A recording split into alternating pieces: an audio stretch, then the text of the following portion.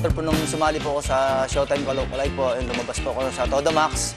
Tapos ayun po, nagsama po kami ng Idol Robin Padilla ko. Finisher po kami sa Rated K, TV Patrol kay Sir Mark Logan.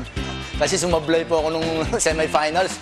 Ang natutunan ko na po, eh, hindi na lang po ako kakanta. Ko sa'yo'y nagtataka. Ipagpatawad mo, minahal kita agad. Sa'yo, Robin lang po yung kaya ko. My goodness! Galingan mo, tol! Nasa sa'yo ang suporta ko. Diego! From Gaita Rizal, let's welcome Julius Fernando Villanueva, aka Robin Padilla.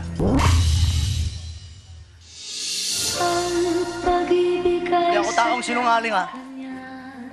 Kahit na bandido ako, kahit na mandurukot ako, meron akong isang salita. Nung sinabi ko sa'yo, kita, totoo yun. Galing dito yun. Pero wala na. Malabo na eh. Alam kung bakit? Masyado ka mataas. Ako masyado mababa. Langit ka, lupa ako. Paano tayo magkabot?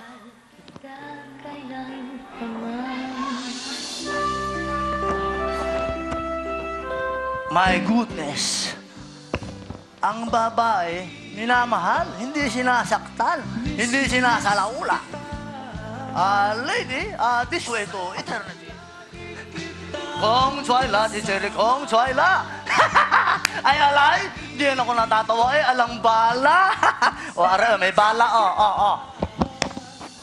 One, two, three o'clock, four o'clock, rock.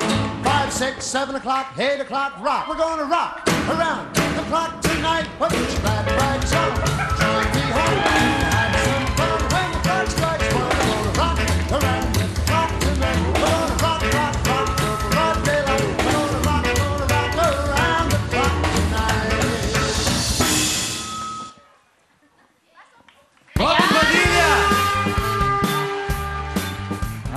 Na may dance number ngayon. Correct. Robin Padilla! Correct. Yes! At tingnan natin, nagustuhan ba ng ating madlam people? Big star, small star. Welcome back, Vice. Kuya Kim, pasok.